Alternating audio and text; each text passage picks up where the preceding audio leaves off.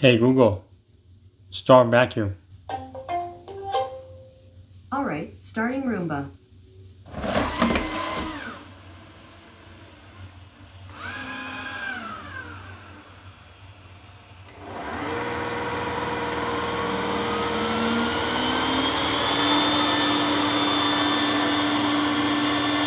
Hey Google, return Roomba home.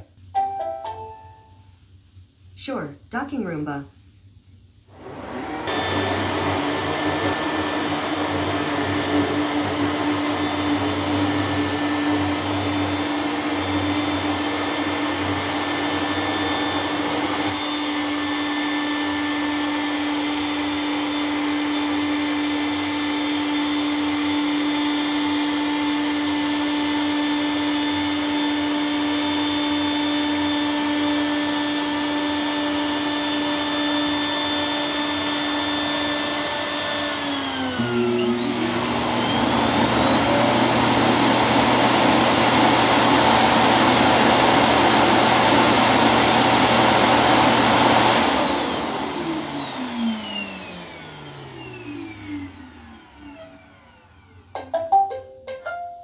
What's up YouTube? Welcome back to another episode of New Parents in Training. So today I'm gonna unbox this, a new uh, vacuum bundle that I bought off iRobot. And this one is the S9 Plus with the empty tray.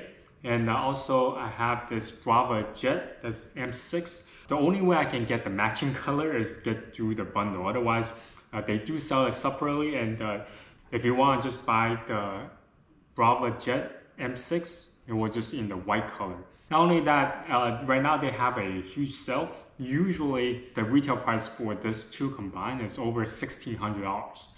yeah, this is really expensive. In this holiday season, they not only knock it down to uh, 1150 but also Rakuten has a 2% cashback plus the Chase Freedom. If you have Chase Freedom credit card and you use it through PayPal, then you get additional 5% off.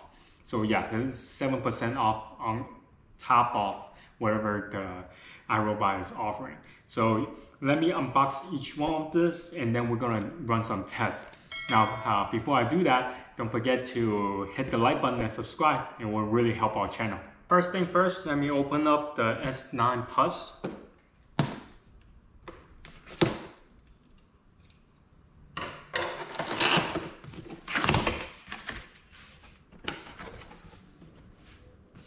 Here's the instruction.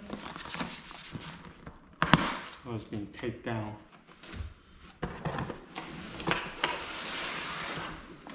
That's the vacuum. Let's see. Alright, so we have a extra air filter, extra this is the charging cable and more on this brush. Alright, uh, see what else we have here. Alright, here is the charging station.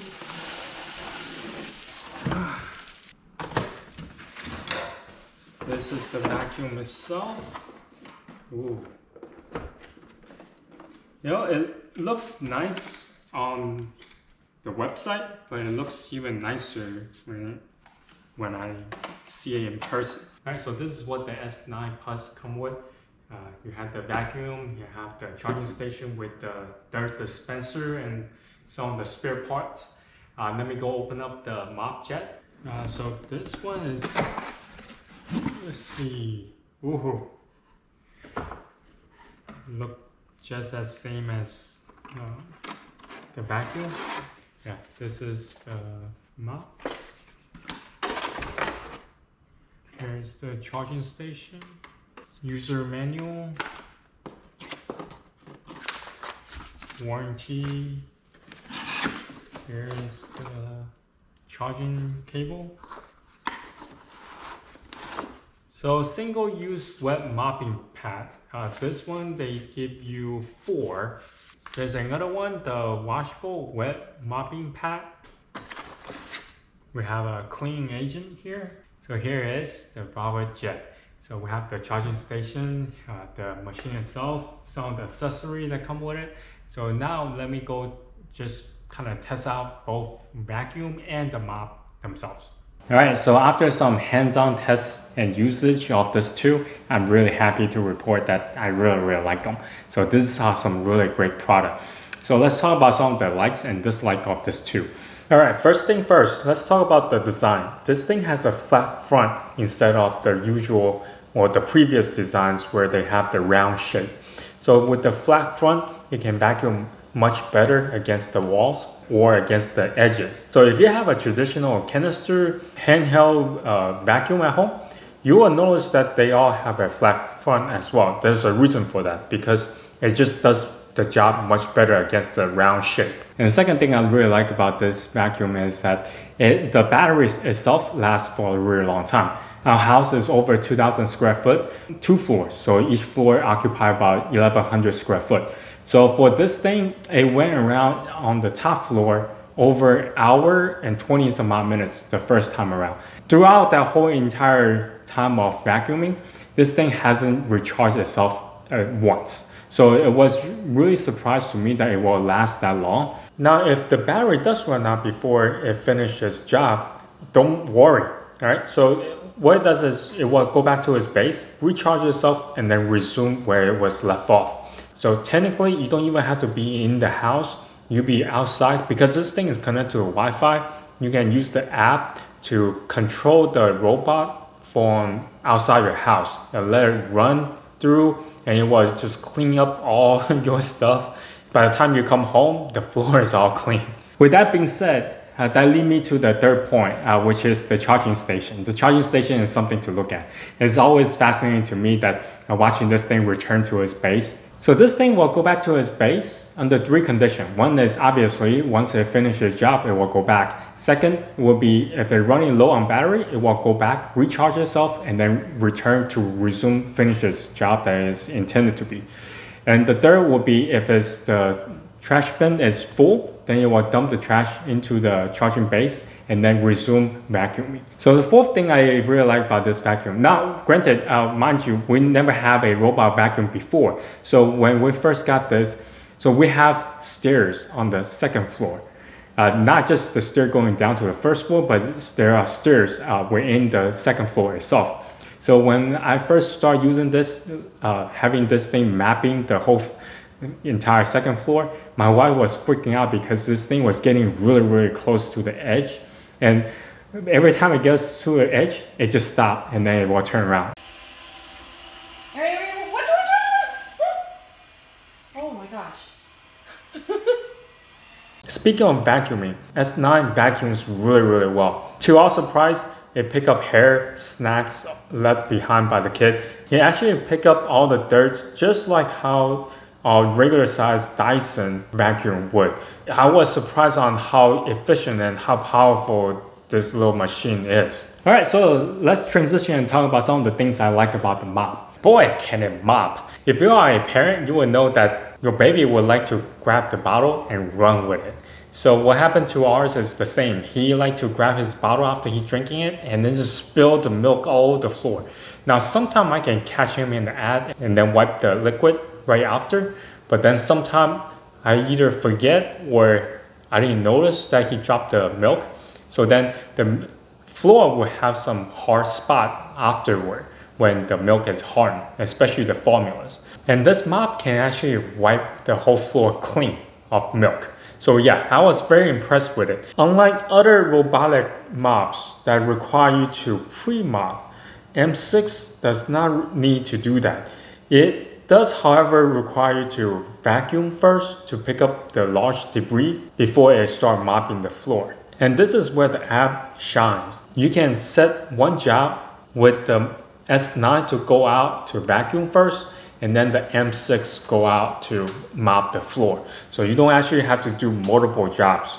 Another thing I noticed about mop is that it will go forward and then backward before it shoots out the cleaning solution. So this way, when it go forward first, it will detect whether or not it's a safe place for it to do its job, and then it go back, and then spread forward, and then it will do the mopping. The mop came with a reusable pad. So that way, once the pad is get dirty and whatnot, you can hand wash it or machine wash it and then reuse again. So you don't actually have to use all those single ones. So yeah, this is very convenient to use. Another thing about this mop that I really like is that it's super quiet. Uh, when it is running, like we were watching TV one night when it's mopping, after the show is over, we're like, wait, did, did the machine done its job? And we turn around and then the machine is already back to its base, finished with job and, and so on.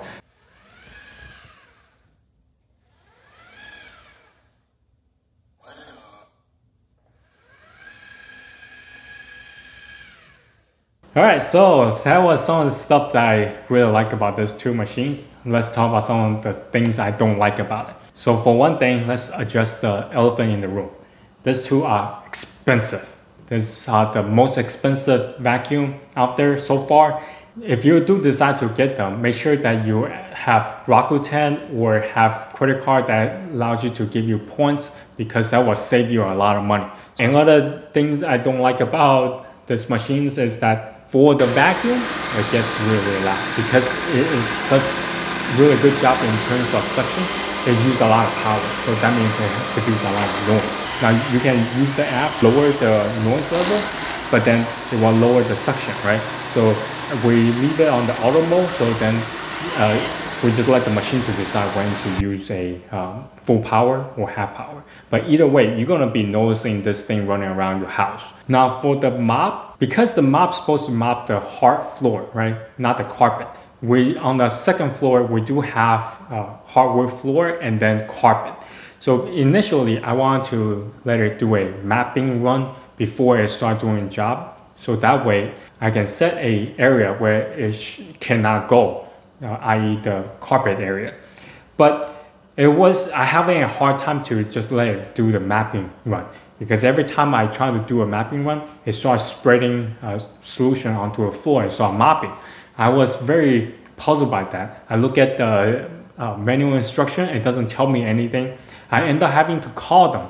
So the, their customer service is really good. They actually open seven days a week. So I called them on a Sunday afternoon and their customer service was able to help me out. So it turns out that if you want the mop to do a mapping run only without cleaning the floor, you have to use a dry pad. So that way it knows it having a dry pad on the machine itself so it will not spray any water. Uh, so that way it will just do the mapping really quickly without doing any job at all. So if you have a home that kind of like ours, where you have a hardwood floor and have a carpet on the other side, then you should definitely do a mapping run before you actually let it do a mopping session. So overall, I really like this too. And I strongly recommend if you want to get them, do so. Yeah, this are really, really good. Uh, the vacuum able to do its job just like how a regular vacuum would and the mop does mop the floor really, really well. Uh, if you have any questions, leave it down in the comment section down below. And uh, until next time, bye.